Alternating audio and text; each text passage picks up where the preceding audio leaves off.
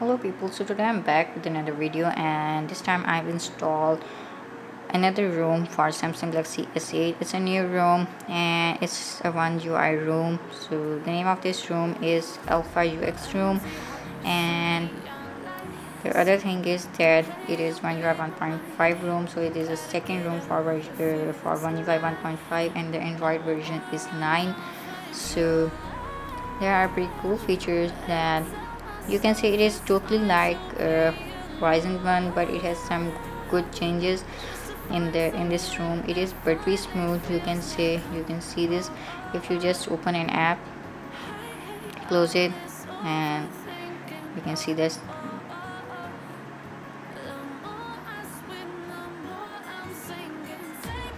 So if you just open any app it is going to open really fast. I totally recommend you this uh, ROM if you want it for daily life usage like calls facebook and if you don't want gaming you can use this ROM because it is pretty smooth. There's there are no legs there are no stutters in this ROM but there are two things that are always on display and brightness is pretty dim.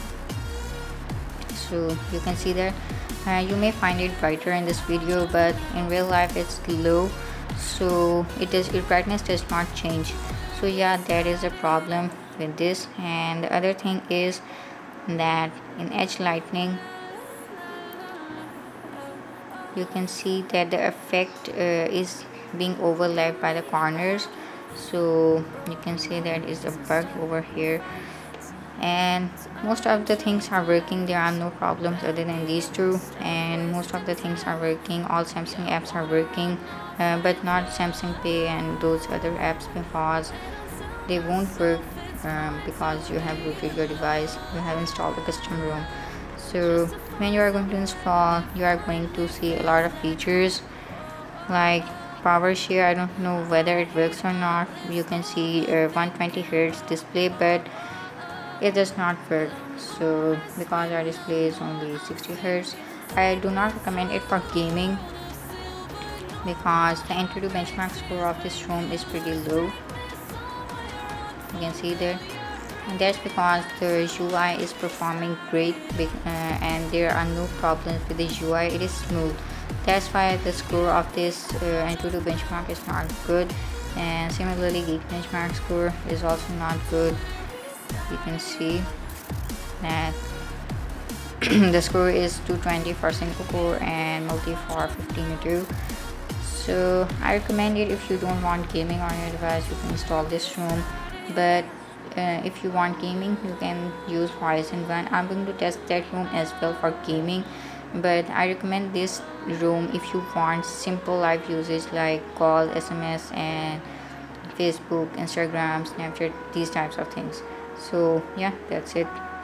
So in order to uh, install this ROM first you have to go into wipe and here you have to wipe uh, Dalvik ART cache cache system data.